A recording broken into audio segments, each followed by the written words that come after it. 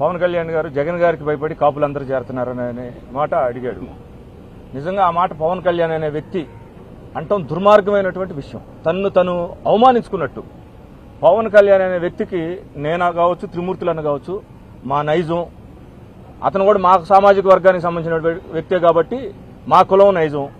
మేము భయపడతామా? ఎదురుండి ప్రాణాన్ని వదులుతామా? ప్రేమాభిమానంతో ఒకరికి దగ్గరికి చేరతామనేది మాలో ఉన్న లక్షణాలు. బహుశా పవన్ కళ్యాణ్లో కూడా ఉంటాయి అనుకుంటున్నాను. తప్పు. దయచేసి పవన్ కళ్యాణ్ అవి ఖచ్చితంగా విత్డ్రా చేసుకోవాల్సిందే.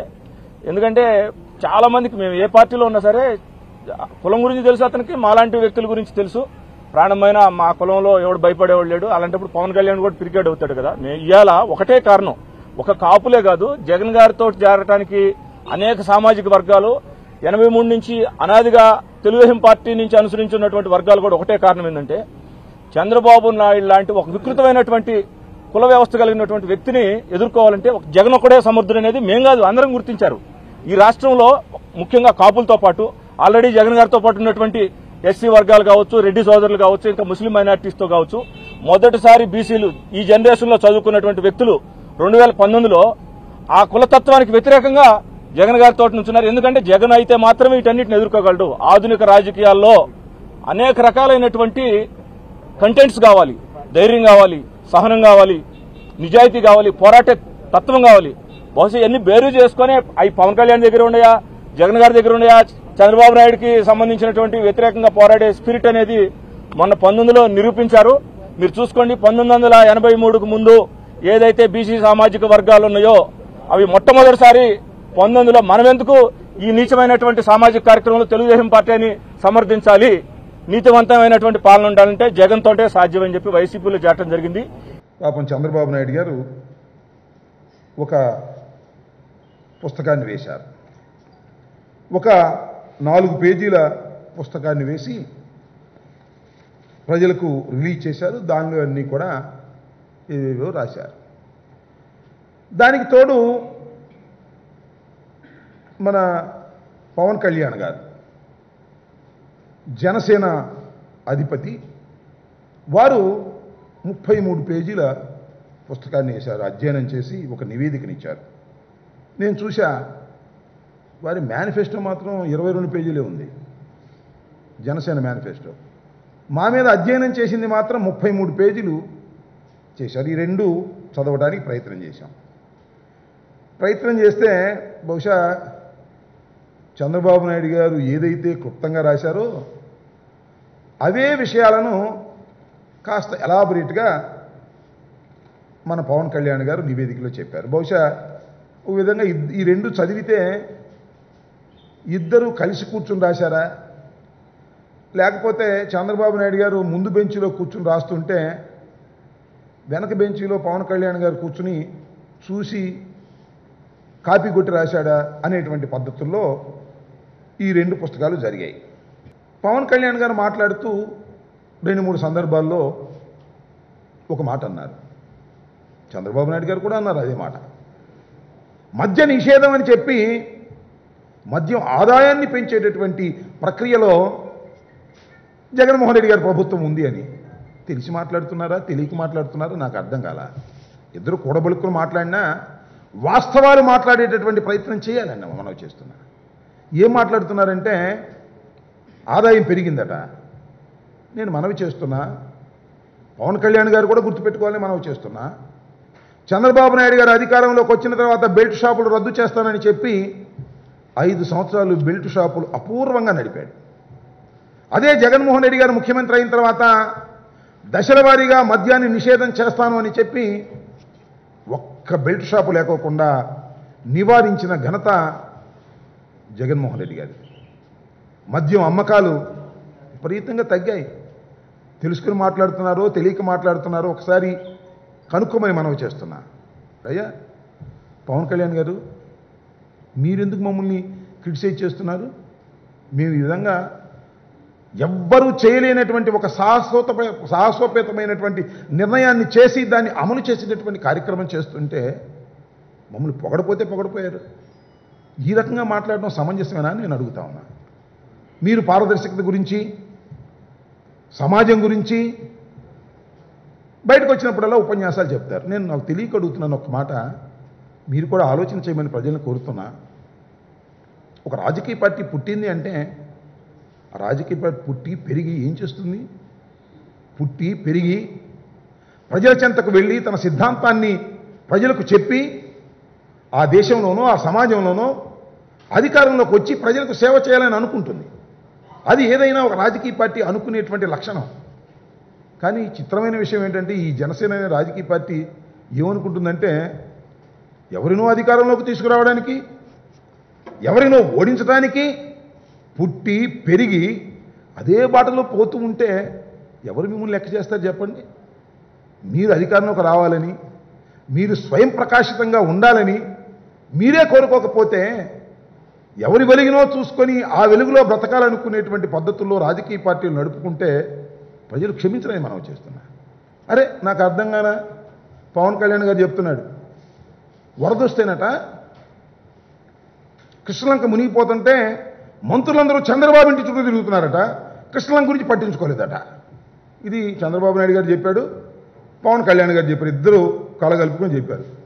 అయ్యా పవన్ కళ్యాణ్ గారు నేను అడుగుతా ఉన్నా గౌరవ ముఖ్యమంత్రి చంద్రబాబు నాయుడు గారు అక్రమ ఇంట్లో ఉంటే అక్రమ కట్టడంలో ఉంటే ఏ రోజునైనా చంద్రబాబు నాయుడు గారు అక్రమ కట్టడంలో ఉన్నాడు ఇది తప్పు అని చెప్పే సాహసం ఎందుకు చేయలేదండి మీరు పవన్ కళ్యాణ్ గారు? మా మీద ఇంత మీరు వంద రోజులకే ముప్పై మూడు పేజీలు వేశారే మరి చంద్రబాబు నాయుడు గారు ఐదు సంవత్సరాలు పరిపాలన చేశాడు. ఒక్క పుస్తకం వేశారా? ఒక పేజీ చూపించారా? ఏమిటో ఆయన అంటే అంత తీపి. మేము రైట్ చేసినా కూడా ఎందుకు మా మీద అంత కక్ష? ఏమిటి దీని కారణం? ఎవరు అంటున్నారు నిజమైన పెయిడ్ ఆర్టిస్ట్ ఎవరన్నా ఉన్నారంటే పవన్ కళ్యాణ్ గారు అని. ఆయన బ్రహ్మాండంగా యాక్ట్ చేస్తున్నాడు చంద్రబాబు నాయుడు గారి తరపున అనేటువంటి మాట మీరు ఒకసారి బయటకు వెళ్ళి వినండి చెప్తారు. కేవలం మీరు మీ చుట్టూ ఉన్నటువంటి మనుషులతో కాదు మాట్లాడవలసింది. బయటకెళ్ళి మీ క్యారెక్టర్ గురించి మీ పద్ధతి గురించి మీరు మాట్లాడే మాటల గురించి మీరు చంద్రబాబు నాయుడు గారి పీడ్ ఆర్టిస్టుగా యాక్ట్ చేస్తున్నారనేటువంటి మాట మీ చెవులకు చేరకపోతే మిమ్మల్ని ఆ భగవంతుడు కూడా కాపాడలేడు. వాస్తవాలు తెలుసుకునేటువంటి ప్రయత్నం చేయమని మనం చేస్తున్నాం. పవన్ కళ్యాణ్ గారు అంటే మా అందరికి గౌరవం ఉంది అభిమానం ఉంది. మీరు దయచేసి మీ గౌరవాన్ని తగ్గించుకునే విధంగా ఏదో విమర్శలు చేయాలి కాబట్టి రాజకీయాలు విమర్శలు చేయకుండా వాటిల్లో వాస్తవాలు తెలుసుకుని మాట్లాడితే మీకు మంచిది మాకు మంచిది. మీరు తెలుగుదేశం పార్టీ వాళ్ళు ఇచ్చిన స్క్రిప్ట్ మీరు చదివితే మంచిది కాదు పవన్ కళ్యాణ్ గారు. మీరు జనసేన పార్టీ ప్రశ్నించాలని పెట్టారు. మేము ఒక మేము మేము మిమ్మల్ని ఒకటే ప్రశ్నిస్తున్నాం మా ప్రభుత్వం తరఫున. మేము నవరత్నాలు పెట్టాం. నవరత్నాలకు మీరు అనుకూలంగా వ్యతిరేకంగా మా చెప్పండి. అంటే ఏంటి మీరు ఇప్పుడు మీరు మాట్లాడేది కొంచెం ఇదిగా ఉంటే బాగుంటుంది పవన్ కళ్యాణ్ గారు. తప్పనిసరిగా మీ కోరేది ఒకటే. కానీ మంత్రులు హానిమూన్కి వెళ్తారని చెప్తున్నారు. హానిమూన్లో తిరుగుతున్నారని చెప్తున్నారు. ఏ చంద్రబాబు గారు ఇంటి చుట్టూ తిరిగారని చెప్తున్నారు. చంద్రబాబు గారు ఇంటి చుట్టూ తిరిగితే మాకేమైనా డబ్బులు వస్తాయా? మీ విధానాలను స్పష్టంగా చెప్పండి. మీరు మీరు ఈ పాలసీ పెట్టారు. మీ మీద మాకు వ్యక్తిగతంగా ఏమీ మీకు మాకు గొడవ లేదు. కానీ దయచేసి ఆ తెలుగుదేశం పార్టీ వాళ్ళు ట్రాప్లో పడొద్దని మా విజ్ఞప్తి. మీరు ఆ ఎజెండా మీరు పట్టుకుని మీరు మాట్లాడితే మీకు సొసైటీలో కొంత ఇది ఉంది. మీరు కొత్తగా రాజకీయాలకు రాజకీయాల్లోకి వచ్చారు. వాళ్ళది భవిష్యత్తు ఉంది.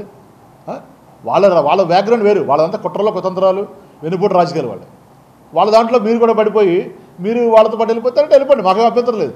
అలా పవన్ కళ్యాణ్ గారు గాజువాకలో పోటీ చేశారు ఇక్కడ వైజాగ్లో.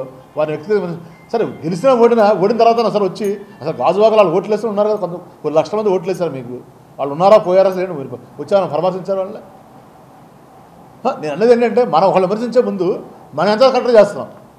లేదా మీ మైకులు మీడియా పెట్టారు కదా అని మీరు సెలబ్రిటీ కదా మీరని మైక్ పెడతారు. పెట్టినప్పుడు మనం ఎంతవరకు మాట్లాడేది అనేది మనం ఒకసారి ఆలోచన చేసుకుని చేస్తే బాగుంటుంది అనేది మా విజ్ఞప్తి. మీరు మీరు కానీ జయప్రకాష్ మీరు లాంటి వాళ్ళు ఏంటంటే ఒక విజిల్ బ్లోరిస్లా ఉండి ఏదైనా జరుగుతుంటే మీరు సలహాలు సూచనలు ఇవ్వాలి కానీ మీరు కూడా రొటీన్ రాజకీయ నాయకుల్లాగా మాట్లాడితే దానివల్ల పెద్ద ఫలితం ఉండదు మీకు కూడా ఉపయోగం ఉండదు అనేది నా ఇదే పవన్ కళ్యాణ్ గారు వెళ్ళి ఏమన్నాడు? రాజధాని ప్రాంత రైతుల కోసం నా ప్రాణాలు అడ్డేస్తాను. ఎవడొస్తాడు నేను చూస్తాను. భూములు బలంగా లాక్కుంటూ ఊరుకుంటానా?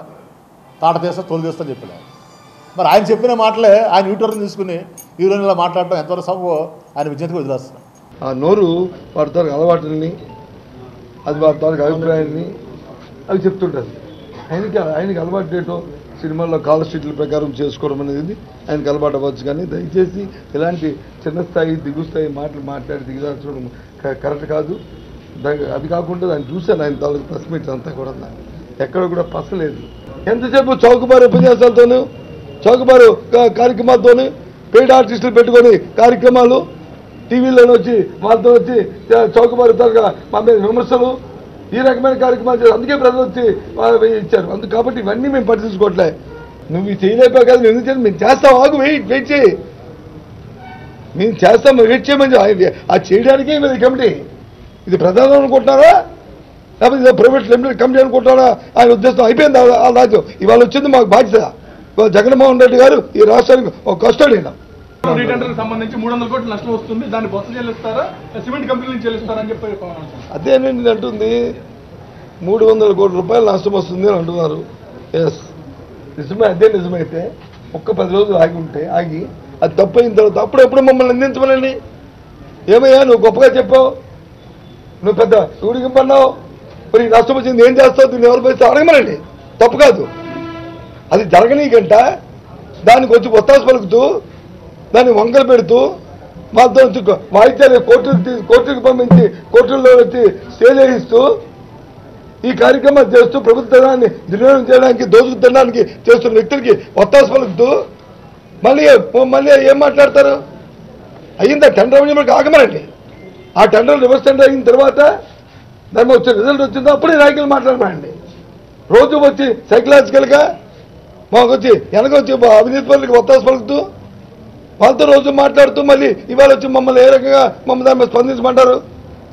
ఇవాళ ఏదైతే ప్రతిపక్ష నాయకులు భావిస్తారో ఇష్టంగా ఇవాళ తెలుగుదేశం పార్టీ కానీ పవన్ కళ్యాణ్ కానీ ఇవాళ తెలుగుదేశం పార్టీ వెళ్ళి ఇంకో పార్టీ ఉన్న నాయకులు కానీ బాధ్యత రహితంగా అవినీతి పనులు కుమ్ముకాస్తున్న ఇది వాస్తవం.